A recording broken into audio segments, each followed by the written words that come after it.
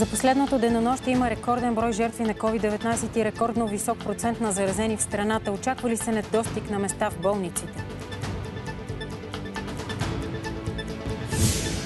Правителството обеща 10% увеличение на заплатите в бюджетната сфера за до година. Ураганен вятър събори дървета и покриви в Смолян.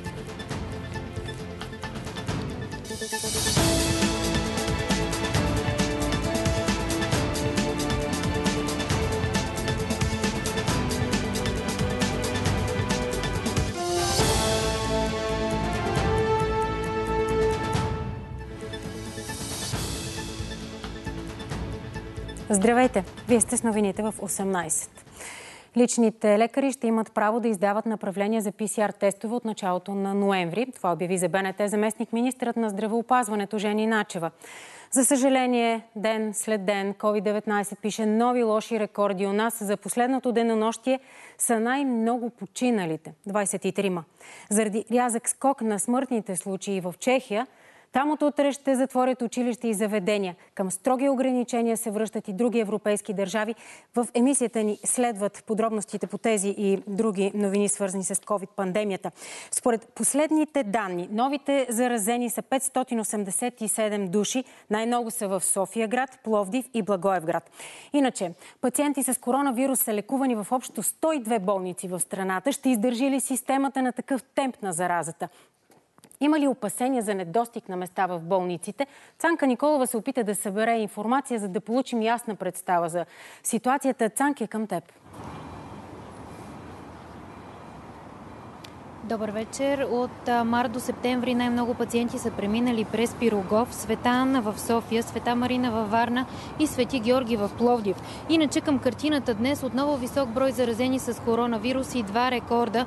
23 починали за денонощие и 13,6% положителни тестове. Пациентите с потвърден COVID-19 настанени в болници са 1221. От тях 65 са в интензивни отделения. В денят започва заместник министр Министърът на здравеопазването доктор Бойко Пенков беше категоричен, че макар не всички болници да лекуват заразени с COVID-19, проблем с инфекциозните легла няма. В момента налични са 8400, а свободните са 7179.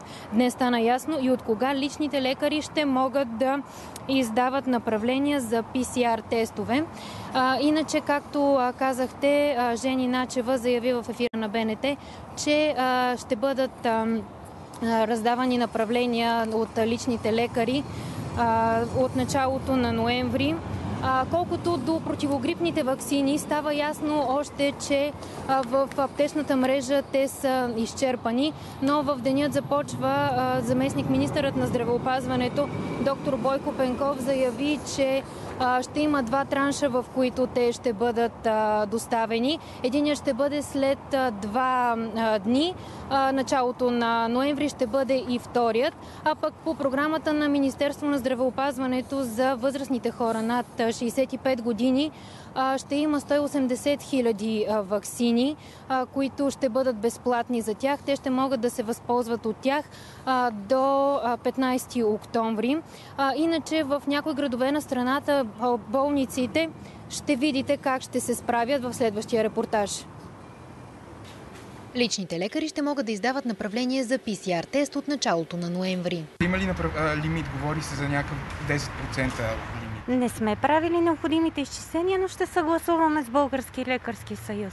Не е ясно колко допълнителни средства ще са необходими за заплащане на тестове от здравната каса. Ще бъде направено в рамките на бюджета на каста за тази година. Защото има механизъм, по който заплаща тестовете, няма проблем с тяхното заплащане. Когато се изпраща тест за изследване към лаборатория, която има договор с касата, винаги този, това насочване с това направление се потвърждава от РЗИ. Тогава е гарантирано, че този тест ще бъде заплатен от НЗОК. Ако някой друг човек, който не е упоменат в рамковия договор, насочи, примерно аз или вие, човек да си направи тест, то това остава тогава за негова сметка. До края на годината ще има средства, за да се покрият разходите за труда на всички хора, които имат пряк контакт с COVID-пациенти. Категоричен беше заместник министърът на здравеопазването доктор Бойко Пенков. Междувременно, от края на март до сега през инфекциозното отделение на столичната болница Света Анна са преминали малко над 300 пациенти. В момента там има 24 души с COVID-19 при капацитет от 35 легла. От началото на извънредното положение отделението не е оставало без пациенти. Спадали сме и до 7-8 болни, сега са 24, били сме и на 30 болни, но вълнообразно протича. И нали, така че отделението има достатъчно лекари в момента. Но всички сме изморени. Това е лошото. Всичките 23 пациенти с коронавирус в болницата в Разлог са настанени във вътрешното отделение, тъй като заради липсата на специалисти няма инфекциозно. Всички лекари обаче, които се грижат за болните, са на предела на силите си. Близо 300 легла за лечение на COVID има в Пловдив и областта. Към момента от тях свободни са 84, интензивните легла са 47, от тях заети са 19. От 120 легла за заразени с коронавирус във Варна, заетите са 42. Пациенти с COVID приемат в три болници в морската столица, а при нужда в областта могат да бъдат разкрити още 180 легла. Няма нови случаи на заразени с коронавирус в дома за възрастни хора с умствена изостаналост Качулка край Сливен. Установените до момента заразени са в сравнително добро състояние и остават под домашна изолация. Лекари и инфекционисти от военната болница в Сливен съдействат за прегледи и взимане на проби на над 200 души сред настанените в дома. Предстои цялостна дезинфекция на комплекса. Към момента там на работа са две трети от персонала, като само две медицински сестри и един фелчер се грижат за живее живеещите в дома. Вече има подадени документи на желаящи да постъпят на работа в социалното заведение. Туроператори поискаха държавата да им даде 155 милиона лева, за да могат да връщат парите за провалени почивки. Предложението е средствата да са под формата на кредити с 3 годишен гратисен период и максимална лихва от 3%. Междувременно стана ясно, че от днес туроператори и туристически агенти вече могат да кандидатстват за безвъзмезната помощ по оперативна програма Иновации и конкурентоспособност чието общ размер е 10 милиона лева. Според бранша обаче тази сума е недостатъчна. Според тях е неефективна и субсидията за чартерните полети в размер на 35 евро на седалка. Те настояват изискването за максимален брой седалки да отпадне.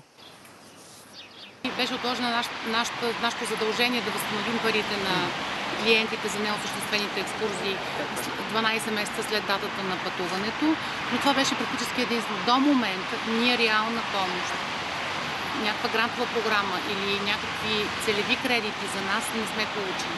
Днес се отваря една програма по ОПИК за, на обща стойност 10 милиона за всички оператори и туристически агенции, която ние приемаме като първа стъпка по пътя за нашето подпомагане финансово Правителството ще гласува утре 5 милиона лева, за да се купят запаси от лекарството Ремдесивир. Това обяви премиерът Борисов. Борисов обеща още, че заплатите в бюджетната сфера ще бъдат увеличени с 10% от до година. Премиерът беше придружен от министри и синдикалисти на мястото, определено за седми реактор на Козлодуй. Още от Александър Марков.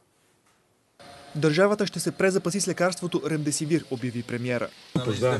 още 5 милиона ще дадем да си изкупат, да имаме да, да са пълни складове. Ще бъдат купени над 76 000 компютъра за дистанционно обучение в училищата. Кабинета ще вдигне заплатите в бюджетния сектор с 10%. Така както през всичките години. 360 милиона за учителите, за да си завършим това, което сме обещали, обещали 4-те да. години двойно увеличение на заплатите. С 1 милиард и 800 милиона лева в бюджета за до година ще бъде увеличена минималната пенсия от 250 на 300 лева. Пенсиите между 300 и 369 лева с 10%, останалите с 5%. Като националната пенсия ще се увеличи без да вдигаме максималния осигурителен доход. Синдикатите са доволни от увеличенията. Две трети от тези неща са нашите предложения, така че не мога да кажа друго, освен че съм доволен. Тази стъпка е тя в правилна посока. Борисов увери, че парите за социални мерки не са предизборно харчене, а целят да стимулират економиката в условията на пандемия и световна криза. 11 години всяко наше правителство сме държали да е на излишък бюджет. Точно Никой не може да ме обвини в предизборно или каквото и да било харчене. Утре ще бъде даден старт и на процедурата по подготовка на проект за изграждане на седми блок на АЕЦ Козлодуй с американски реактор и ядрено гориво. Достатъчно се напатихме като държава да плащаме и след това да не става. По-добре да разбира се, при най-добри условия, нали, за да не ме обвинят нова технология, американска технология, най-съвременна технология, 70 години после да работи, диверсификация пълна на енергията, както в газта, така и в ядрената енергия. Площадката за възможния седми реактор беше лицензирана от Агенцията за ядрено регулиране през февруари. Получи и оценка с въздействие върху околната среда. Посещението в района премина при изключително лошо време. Ще дърва ли? Без това заготвят, нали, си яйца ни метат, ще се боим. Борисов беше придружен от цяла делегация, финансовия и енергийния министр и синдикални лидери. Президентът Румен Радев сезира Конституционния съд с искане да бъде обявено за противоконституционно решението, с което се създаде временна комисия за разглеждане на проект на Конституция на Република България. Радев смята, че една от задачите на временната комисия да предлага нови промени в Конституцията противоречи на настоящия основен закон на страната ни. Президентът уточнява, че промени в вече внесен проект за нова конституция може да прави само Велико народно събрание. Проговори семейството от столичния квартал Лески Г, което беше атакувано по грешка от антимафиоти миналата седмица. Преди дни ГДБОП действали в акция срещу група за лихварство, рекет и разпространение на наркотици, но се оказали на грешен адрес. Пострадалите твърдят, че тежко въоръжените полицаи ги обиждали и употребили срещу тях електрошок, били ритани. Извинението за грешката дошло часове по-късно. Събуждам се от разбиване на тази външната врата и попитах кой блъска да, чупи, да щупи вратата и ми казаха, госпожо, ние сме от Гейде Боб, тихо. Така Десислава започва разказа за преживяното на 5 октомври в 6 без 5 сутринта. И аз викам, добре, при кого отиват и те казват, отиваме срещу вас. Това я е изненадало още повече, защото в отсрещния апартамент живеят голямата и дъщеря, зети и няколко месечната и внучка. Жената се опитала да обясни, че става дума за грешка. Умолявахме, обяснявахме, че бъркат адреса, обаче се оказва, никой нас не ни слуша, освен да ни наричат буклуци, телефоните да си дадем и това е. А кой ви нарича буклуци? Ами, от Геде Боб, който отговаряше, може би, не знам кой аз. Легитимираха ли се, казаха ли са, как се казва? Не. Според Крумова, пред очите и антимафиотите разбили вратата на отсрещния апартамент, повалили зети на земята, дори го били обезвредили с електрошок и няколко ритника и едва тогава разбрали, че са на грешен адрес. Вътре бяха, бяха сложили белезници на зетни, когато ги биха, наритаха ги, тогава вече разбраха от как и откъде разбраха, че грешат, не знам. Крумова разказва още, че часове по-късно дошъл представил се за ръководен служител в ГДБОП, който се е извинил за грешката и е обяснил с проблем в навигацията. Всичките сме на успокоителни хапчета и не спиме нормално и ни е страх. Кой ще дойде и какво ще стане? По неволя свидетел на случилото се станал и съсед на семейството от горния етаж. Лошото е друго. Сбъркали, сбъркали, що не се установяват какво е точно и почват да бият без да са сигурни. Това ли е човека, не е ли? Да установят има много по-цивилизовани начини. Още миналата сряда от ГДБОП признаха, че при акция са влезли на грешен адрес. Обясниха, че вътрешна проверка установява причините и виновните. Последствие, когато станат а, а, когато приключим проверка, ще ви дадем информация. Днес от МВР съобщиха за посветил у нас, че проверката още не е приключила. Тежка катастрофа затвори за часове проходът Хаимбуаз. Инцидентът е станал около 9 часа тази сутрин в участъка между селата Въглевци и Вонеща вода. Ударили са се тежкотоварен камион с румънска регистрация и микробус. Шофьорът на микробуса е загинал на място. И от двете страни на прохода се образуваха опашки от чакащи тирове. Леките автомобили бяха пренасочвани през прохода Шипка. Малко преди 15 часа движението беше възстановено. Ямбулският окръжен съд остави в ареста шофьора на украинския тир, участвал в тежката катастрофа край Лесово. При инцидента загинаха трима души, 16 бяха ранени. 50-годишният водач е обвинен в нарушаване на правилата за движение, довели до тежко пътно-транспортно происшествие. За първи път пред БНТ проговори и собственикът на фирмата, организирала злополучната екскурзия до Одрин. Собственикът на фирмата, организирала екскурзията до Турция, изключва възможността загиналият му колега да има вина за катастрофата, тъй като е бил много отговорен шофьор и няма нито едно нарушение на пътя. Мисля, че не е виновен, защото просто е нямал шанс да, да оцелее при при този дъжд, при тази мъгла, при този спрял камион, просто е нямал шанс да, да оцелие при, при тази обстановка. Според Димов, тежкотоварният камион не е трябвало да бъде на пътното платно. Защото имало е хора, които са минали там с лека кола, остъргали са секалника даже, чукали са по вратата, опитвали са да, да, да го събудат и казват останали с впечатление, че никой няма в камиона и явно се е събудил под самия удар. Прокуратурата поиска шофьорът на камиона да остане в ареста, защото събраните до момента доказателства сочат, че има вина за тежката катастрофа. По делото на този етап обвиняеми не е дава обяснение, не е посочил по никакъв начин защо и поради каква причина се е намирал на това място на пътното пъдно в 5.35 сутринта. Ако се е налагало да почива, то е трябвало да намери място, където такава почивка да бъде осъществена така, че да не пречи на останалите участници движение по пътищата. Съдът реши да остави за постоянно в ареста шофьора на тира с мотива, че повдигнатото обвинение е особено тежко и съществува възможност той да се укрие. Според защитата обаче, виновни за катастрофата са други. Съответните държавни чиновници от Министерство на транспорта и от Министерство на регионалното развитие и благоустройство, включително и местната администрация, които са създали един хаос, т.е. са оставили един хаос да се саморазвива на граничния контролно-пропускателен пункт Лесово. Решението на Ямбулския окръжен съд може да бъде обжалвано. Пандемията COVID-19 е темата, която и днес доминира в новините от света. Световната здравна организация днес предупреди, че е неетично и ненаучно коронавирусът да бъде оставен да циркулира свободно в името на постигане на стаден имунитет. По данни на СЗО от началото на пандемията, броят на потвърдените случаи наближава 38 милиона. Жертвите са над милиони и 80 хиляди. За сега не е ясно дали имунният отговор на организма е достатъчно силен и траен. Това посочи генералният директор Теодорос Гебрейсус на фона на съобщения за повторно заразяване и прекратени тестове на американска вакцина заради заболял доброволец. Никога в историята на общественото здравеопазване стадният имунитет не е бил използван като стратегия за реакция на огнище, камоли на пандемия, посочи СЗО. Едва започваме да разбираме дългосрочните ефекти на COVID-19 върху хората. Да позволим на опасен вирус, който не познаваме напълно, да се разпространява свободно, е просто неетично. Това не е вариант. Гебрей Есус припомни, че при вариолата е било нужно вакциниране на 95% от населението, за да бъдат защитени останалите 5 на 100. Повторното заразяване с COVID-19 е по-опасно от първото, заключава медицинско изследване, публикувано в специализираното издание Lancet Infectious Diseases. Според статията 25 годишен мъж от Рино, Невада, е развил леки симптоми през април, но в края на май е стигнал до болница заради затруднено дишане.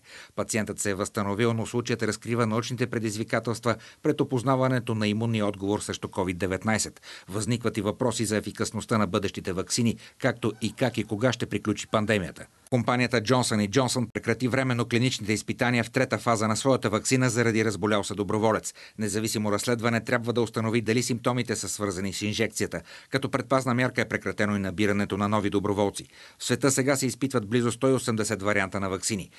И Джонсън започна да набира доброволци в края на септември. Целта е наемане на 60 000 души в повече от 200 района на Съединените щати, Южна Америка и Южна Африка.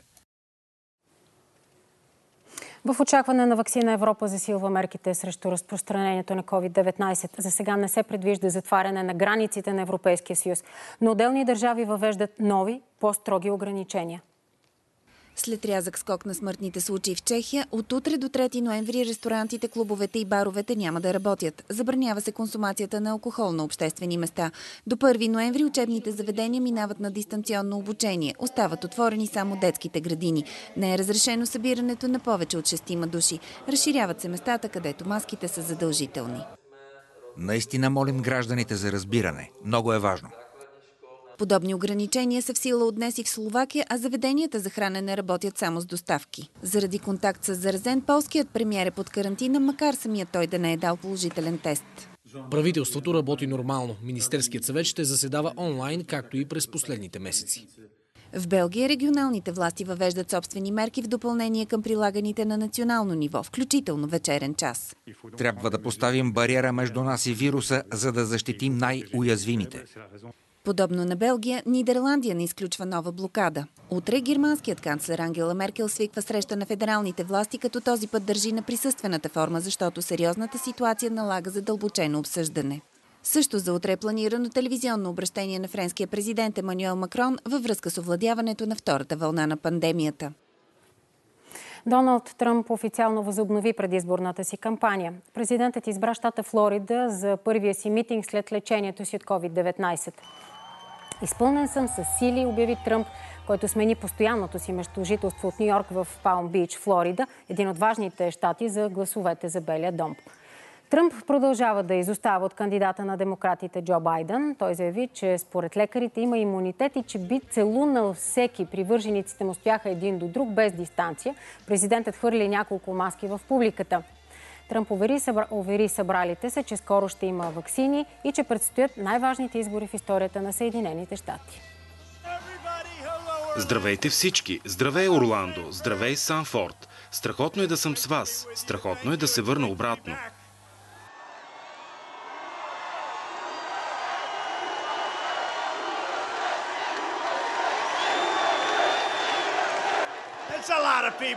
Колко много хора! Знаете ли, нашият съперник спящия Джо проведе митинг днес и на практика никой не се появи. Не знам какво става спящи Джо, но е страхотно да се върна от дома в щата Флорида за официалното ми завръщане в кампанията.